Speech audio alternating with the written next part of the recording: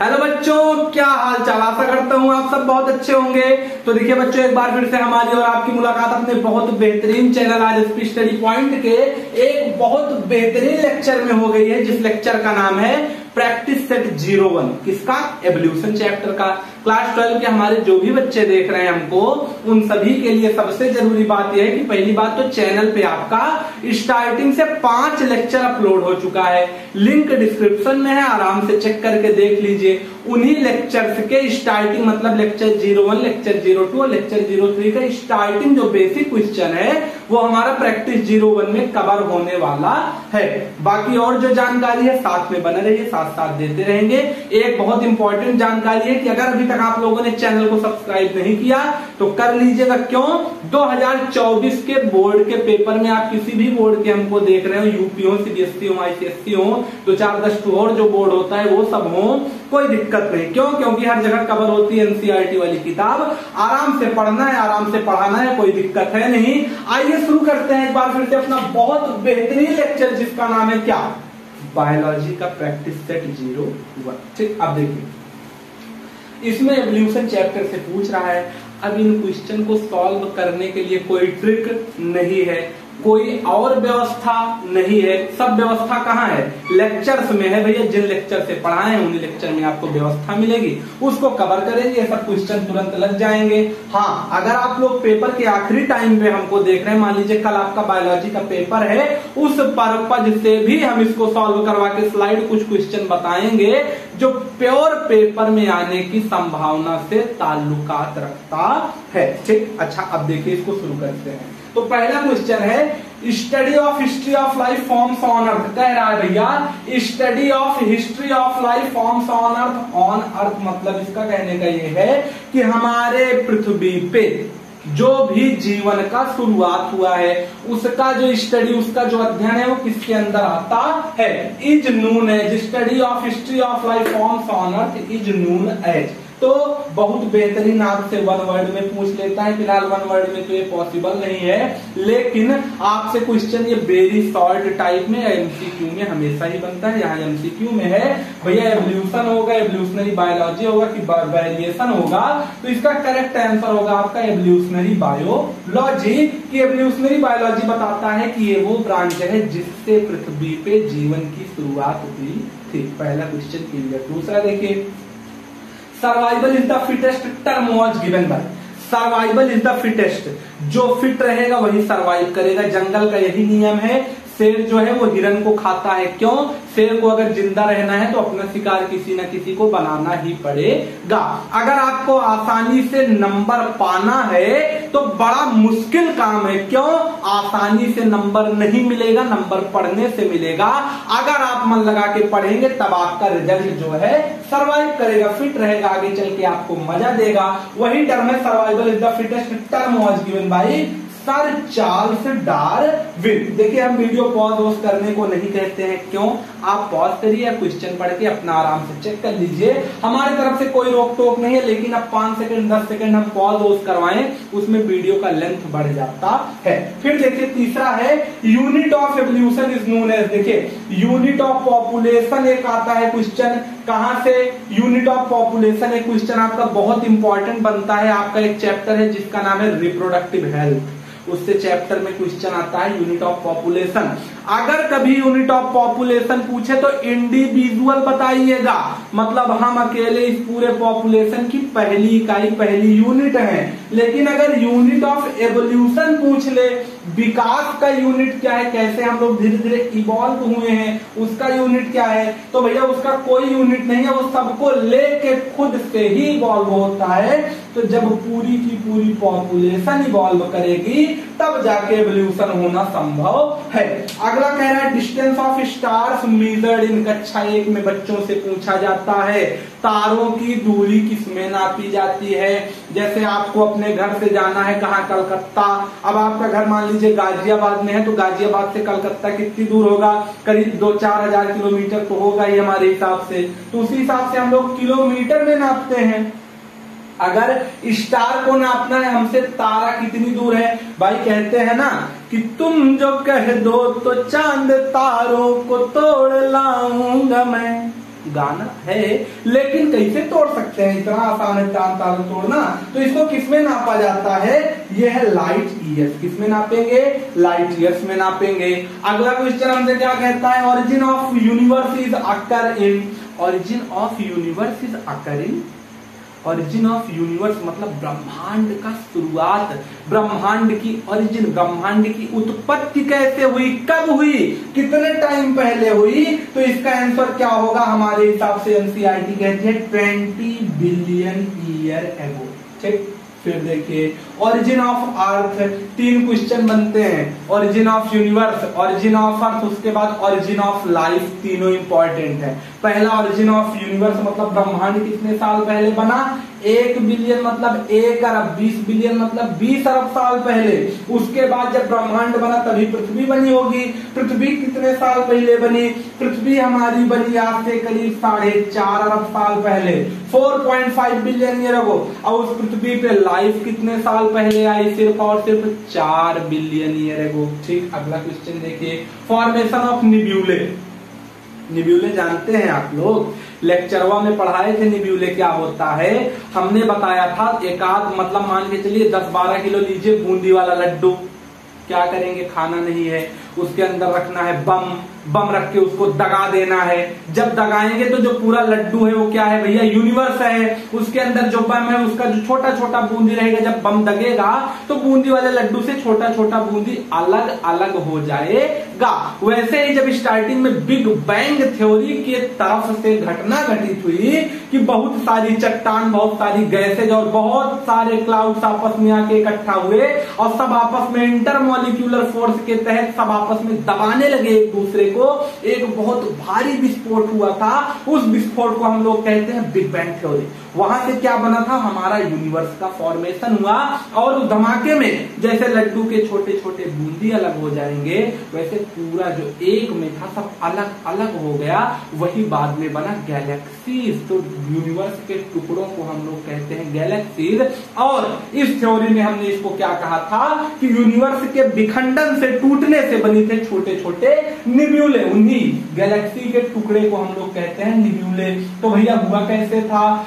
Formation of nebulae from big bang theory. अगला question क्या है? Primitive atmosphere of earth was actually जब पृथ्वी बनी थी प्रोकैरियोटिक यूकैरियोटिक हम लोग सेल पढ़ते हैं ना, उसमें जब कहते हैं कि जो प्रोकैरियोटिक है प्रो मतलब प्रिमिटिव जो पहले आया यू मतलब बाद में जो अच्छे से डेवलप हुआ। तो कह रहा है, जब अर्थ बननी शुरू हुई थी, करीब आज से साढ़े चार अरब साल पहले, उस समय यहाँ का एटमोस्फियर कैसा था?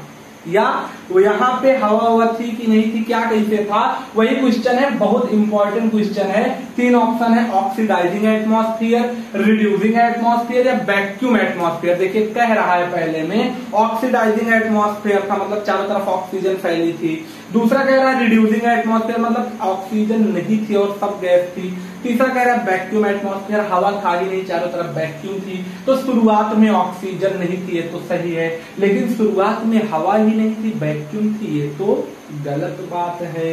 तो होगा भैया रिड्यूसिंग एटमोस्फियर अगला क्वेश्चन देखिए volcanic eruption causes volcanic eruption क्यों हुआ, कैसे हुआ, कैसे नहीं हुआ। क्या दिक्कत था? ज्वालामुखी फूटने का कारण क्या था? हर एक चीज़ लेक्चर में समझाएँ, यहाँ समझाएँगे तो वीडियो लॉन्ग हो जाएगी। इतना समझिए कि हमारे अर्थ का तीन लेयर होता है क्रस्ट मेंटल कोर क्रस्ट वो है जिसपे हम लोग खड़े हैं, थोड़ा सा अंदर जहाँ से पानी निकालते हैं, वो है मेंटल और अंदर खोद देंगे तो आ जाएँगे आग। आग मतलब ज्वाला। ज्वाला से क्या बनेगा? जब ऊपर आके फूटेगा तो ज्वाला मुखी वही कंडीशन कह रहा है कि जब शुरुआत में पृथ्वी बहुत गर्म थी क्योंकि धमाके से आई थी बिग बैंग थ्योरी की तरफ़ से तो उसमें कंडीशन क्या था? उससे क्या क्या बना? अब देखिए, जब अंदर से आग निकल के बाहर आई, कहाँ से? पृथ्वी के अंदर से गरम गरम आग निकल के बाहर आई पृथ्वी पे तो क्या क्या कंडीशन हुआ? एग्ज़ाम्पल में ही बगल में बना लें। ये है हमारा भैया क्या? ज्वालामुखी। यहाँ पे भरा है आग। ये निकल के ऐसे ऐसे बाहर आ रहा है, ऐसे ऐसे बाहर आ रहा है जो हमारा ज्वालामुखी है। उससे क्या कंडीशन हुआ? ये जो आ रहा है, इसका क्या कहते हैं? इसको हम लोग कहते हैं, भैया, एक प्रकार से शुद्ध भाषा में मलबा कह सकते हैं। इसके अंदर से जो भी हमको क्या मिले थे? जो भी एक प्रकार से कह सकते हैं, सामान मिला था जो भी उसके विस्फोट हुआ था तो उसमें से जो भी मटेरियल हमको ऑप्टेंड हुआ था ज्वालामुखी के अंदर से, उससे तीन चीज़ बना। पहला, ये बन गए चट्टान के फॉर्म में। वही हमारे पृथ्वी पे हमारा पूरा लेयर जहाँ हम लोग खड़े हैं कभी ना कभी वॉल्केनो से ही बना हुआ था। तो सबसे पहले फॉर्मेशन ऑफ़ अर्थ क्रस्ट सही है। दूसरा फॉर्मेशन ऑफ़ गैसेस हाँ इससे बहुत सारी गैसेस भी निकली थी लेक्चर में हमने बताया है। ये भी सही है। तीसरा भैया पूछ रहा है फॉर्मेशन ऑफ़ वाटर वेपर हाँ अगर आग जलेगा तो पानी के बिना संभव नहीं है। कहने का मतलब यह है कि पृथ्वी में मेंटल वाले लेयर में तीन लेयर है ना। भाई, ये पृथ्वी है। यहाँ हम लोग खड़े हैं ऊपर का। इसके बीच में एक लेयर है। इसका नाम है जहाँ खड़े हैं क्रस्ट जो बीच में है, इसका नाम है मेंटल यहाँ अंदर बिल्कुल कोर है जहाँ से लावा आ रहा है। तो बीच बीच में जब यहाँ से आग निकल के ऐसे आएगी तो ये पानी वाला जोन भी तो पड़ेगा मेंटल वाला भी तो ज़ोर पड़ेगा। तो यहाँ से जो वाटर वेपर था, उसको ऊपर लाया था तो फॉर्मेशन ऑफ़ वाटर वेपर भी हुआ था। मतलब ऑल ऑफ़ दीज एक ही क्वेश्चन में कई सारे कंसेप्ट क्लियर करवाए हैं। ध्यान से पढ़िए, कुछ ना करिए सुनते रहिए अगला क्वेश्चन है theory of spontaneous generation was proposed by spontaneous generation वाला थ्योरी याद वोद है कि सब भुला गए। याद है, याद करिए। इंपॉर्टेंट है, बोर्ड में आता है। कह रहा है थ्योरी ऑफ़ स्पॉन्टेनियस जनरेशन क्या है? जब पृथ्वी बन रही थी तो साइंटिस्टों ने अनुमान लगाया, जैसे आज हम लोग सोचें कि भैया पृथ्वी कैसे बनी होगी? आखिर कैसे आई है हमारे पास ये हमारी पृथ्वी चल के आई है, बन के आई है, कहाँ से आई है? तो पता हमको क्या लगा भैया? पता ये लगा कि कुछ साइंटिस्ट ने अपनी अलग अलग थ्योरी दी। कुछ थ्योरी हम पढ़ाए हैं, सब बर्बाद है, उसका कोई मतलब नहीं लेक्चर में ही बता दिए इंपॉर्टेंट नहीं है। पहली इंपॉर्टेंट थ्योरी शुरू होती है स्पॉन्टेनियस जनरेशन से पहला क्वेश्चन सुनिए। इस थ्योरी को हम लोग थ्योरी ऑफ़ आबायोजेनेसिस के नाम से भी जानते हैं। क्वेश्चन हमेशा आता है। दूसरा क्वेश्चन क्या है भैया? इसमें जो पूछ रहा है, इसको किसने प्रपोज किया? मतलब किसने दिया था? एरिस्टोटल ने दिया वॉन हेलमोंट ने दिया डार्विन ने दिया, कि एरिस्टोटल और वॉन हेलमोंट दोनों ने दिया तो दोनों ने दिया था। पूरी कहानी सुनने के लिए लिंक डिस्क्रिप्शन में है लेक्चर देखिए। फिर theory of biogenesis was proposed by spontaneous generation वाले थ्योरी को हम लोग थ्योरी ऑफ़ अबायोजेनेसिस कहते हैं। बायोजेनेसिस नहीं कहते। बायोजेनेसिस एक अलग की थ्योरी है, वो पूछ रहा है कि theory of biogenesis was proposed by किसने इसको दिया था? अच्छा भैया, इसको किसने दिया था? इसको दिए थे हमारे लुइस पास्चर किसने दिया था? लुइस पास्चर जी ने दिया था। और अंतिम क्वेश्चन पूछ रहा है, जो थ्योरी ऑफ़ बायोजेनेसिस है, जिसको लुइस पास्चर जी ने दिया था, इसमें उन्होंने ये प्रूव किया था कि आखिर हमारे जीवन की शुरुआत कैसे हुई? बायोजेनेसिस को गलत करके बायोजेनेसिस दिया। दूसरा चीज़ क्या कंडीशन था? दूसरा चीज़ ये कंडीशन था, इस थ्योरी में उन्होंने बताया जो कुछ भी है, सब बायोजेनेसिस बायोलॉजी के कारण ही बना है। बायो का बेस क्या है? रिप्रोडक्शन जब मेल और फीमेल रिप्रोडक्शन करेंगे, तभी उनका स्पीसीज आगे बढ़ पाएगा। यही उन्होंने मेन चीज़ बताया था। अच्छा वो रहने वाले थे यूनान, ग्रीक ग्रीक के भाषा में शायद बोलते थे। उन्होंने इसी चीज़ को क्या? कि जो पुराने लोग हैं मतलब हम लोग अपने माता पिता से ही बने हैं। कोई भी नया सेल एक पुराने सेल से ही बनता है। उसी को उन्होंने कहा, ओमनी वाइबम एक्स बीबो। क्या कहा? ओमनी वाइबम एक्स बीबो। ये टर्म किसने दिया था? लुइस पास्टर ने ही दिया था। और थ्योरी ऑफ़ एक क्वेश्चन और सुनिए, लिखवाए नहीं है, लेकिन सुनिए, बोर्ड में आएगा। जगह कम पड़ गई, इसलिए नहीं लिखवाए। एक क्वेश्चन ये आएगा कि थ्योरी ऑफ़ बायोजेनेसिस को ही प्रूव एक्सपेरिमेंटली किस साइंटिस्ट ने किया था तो उसको लुइस पास्चर ने ही प्रूव किया था। किस एक्सपेरिमेंट द्वारा? उस एक्सपेरिमेंट का नाम क्या है? तो उस एक्सपेरिमेंट का नाम है भैया स्वान नेक एक्सपेरिमेंट। स्वान नेक एक्सपेरिमेंट। जैसे ही चैनल पे जाएँगे, स्वान नेक एक्सपेरिमेंट पे एक सेपरेट वीडियो बना हुआ है। आप लोग देख सकते हैं। स्लाइड ज़ीरो वन मतलब इस चैप्टर का lecture zero one lecture zero two lecture zero three ही है स्वानिक एक्सपेरिमेंट उसी तीनों से बारह क्वेश्चन बनाए गए हैं। कोई दिक्कत नहीं है, पढ़ते रहिए, मज़ा लेते रहिए। एक भी क्वेश्चन ना समझ में आया हो, तुरंत कमेंट करके बताइए। हम पढ़ा रहे हैं तो ज़िम्मेदारी हमारी है आपको रिप्लाई देने का, आपको आंसर देने का।